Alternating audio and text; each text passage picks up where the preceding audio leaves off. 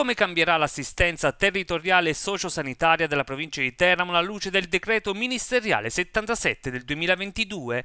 In che modo il PNRR contribuirà ad ampliare e migliorare l'offerta dei servizi socioassistenziali sul nostro territorio? Sono state queste le domande che hanno animato la giornata di studi promossa dalla diocesi di Teramo Atri con la collaborazione dell'ASL di Teramo e il centro di ricerca della piccola opera Caritas di Giulianova. Sono contento che la piccola opera Caritas insieme con tutta la struttura della ASR in collaborazione con loro possano veramente offrire un momento di riflessione per ripensare la riforma sanitaria, le intuizioni, soprattutto in riferimento al primato del territorio, dunque della comunità che deve farsi carico della salute, di elaborare e di promuovere un, un, concetto di salute che possa permettere a tutti di poter vivere pienamente la propria esperienza umana. Ed è per questo che le parole del Papa, abbi cura di lui, credo che sia davvero un invito molto importante a fare un passo in avanti in cui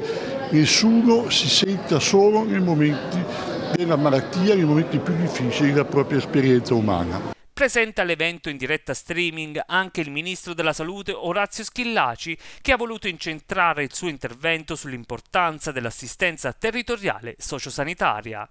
L'assistenza territoriale sociosanitaria, con particolare attenzione alle fasce di popolazione più fragili e vulnerabili, è la sfida che tutti noi siamo chiamati ad affrontare con determinazione ed urgenza.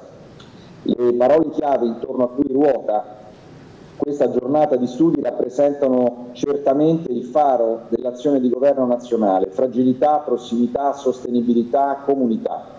L'aspettativa di vita in Italia è tra le più alte in Europa. Nella nostra nazione si vive più a lungo, ma l'invecchiamento porta con sé un incremento delle patologie croniche e soprattutto la necessità di rispondere a bisogni di assistenza sanitaria e sociale. Un argomento molto complesso su cui la Regione Abruzzo ha annunciato di essere al lavoro per rispondere in maniera concreta.